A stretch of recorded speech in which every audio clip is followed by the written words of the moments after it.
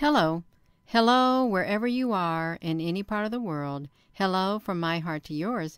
We're going to be looking at a video footage of a small gray extraterrestrial which was first circulated on the internet back in May of 2011.